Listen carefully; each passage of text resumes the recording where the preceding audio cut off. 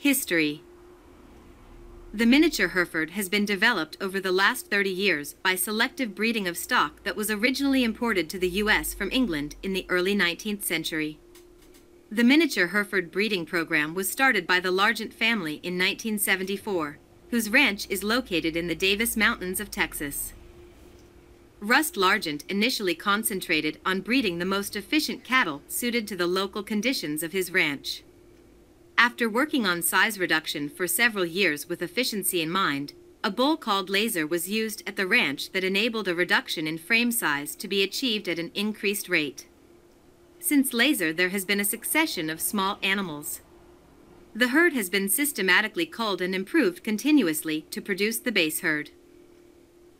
The first miniature Herefords were sold on the open market in 1991 all miniature Herefords are able to be registered with the American Hereford Society once they are checked free of the dwarfism gene.